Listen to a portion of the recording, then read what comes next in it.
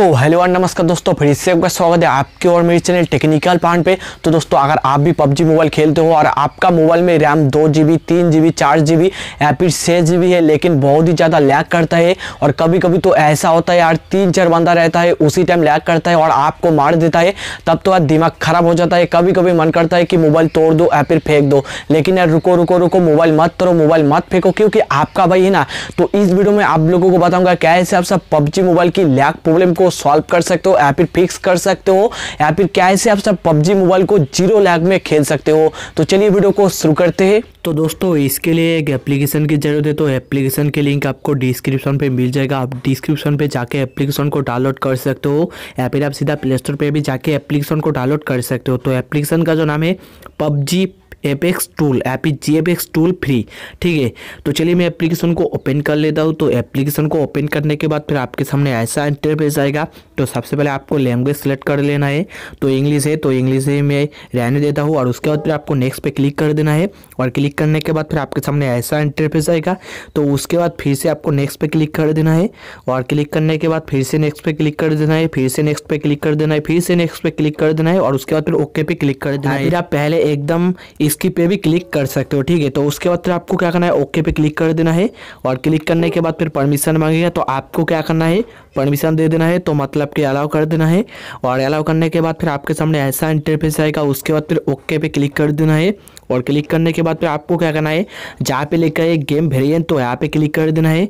और क्लिक करने के बाद फिर जो भी वर्जन है तो उसको यहाँ पे आपको सिलेक्ट कर लेना है, आपका पबजी मोबाइल गेम का, ठीक है? उसके बाद फिर आपको क्या करना है रेजोल्यूशन पे क्लिक कर देना है। और क्लिक करने के बाद फिर आपको क्या करना है, अगर आपका मोबाइल का रैम दो जी बी या फिर तीन जी है या पे चार जी है और बहुत ही ज़्यादा लैग करता है तो उसके लिए आपको सबसे कम सिलेक्ट कर लेना है, ठीक है? तो चलिए मैं यहाँ पे सिलेक्ट कर लेता हूँ सबसे कम और उसके बाद फिर एक ऐड आएगा तो ऐड को आपको कट कर देना है। और उसके बाद फिर आपको क्या करना है, जहाँ पे लिखा है ग्राफिक्स तो यहाँ पे क्लिक कर देना है। और क्लिक करने के बाद फिर यहाँ पे अगर आपका मोबाइल पे बैलेंस है या फिर एच है या फिर एच है तो आपको स्मूथ सेलेक्ट कर लेना है। और उसके बाद फिर आपको क्या करना है जहाँ पे लिखा है एफ़ पी एस तो यहाँ पे भी आपको क्लिक कर देना है और क्लिक करने के बाद फिर सबसे कम आपको एफ़ पी एस सेलेक्ट कर लेना है ठीक है? अगर आपके मोबाइल पे ज़्यादा है तो और उसके बाद फिर आपको क्या करना है नीचे स्क्रॉल करना है और जहाँ पे लिखा है शेडो तो इसको आपको इनेबल कर देना है। उसके बाद फिर आपको यहाँ पे कुछ भी शीर्षा नहीं करना है थोड़ा सा नीचे स्क्रॉल करना है और नीचे स्क्रॉल करने के बाद फिर जहाँ पे लिखा है पोटाटो ग्राफिक्स तो आपको इसको भी इनेबल कर देना है और इनेबल करने के बाद फिर नीचे जहाँ पे लिखा है सिंपल सेटअप तो आपको यहाँ पे भी इसको क्लिक करके इनेबल कर देना है।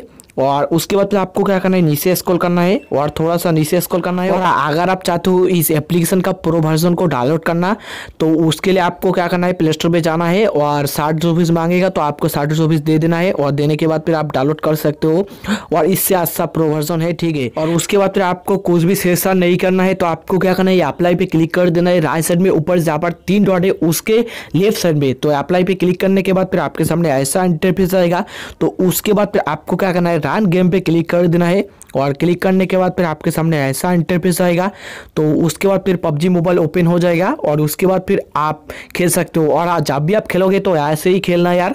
तो आज की वीडियो में इतना ही। तो अगर वीडियो को अच्छी लगी तो ज़ोर से लाइक बटन दबा दो और अगर मन में कोई सवाल है तो कॉमेंट कर दो।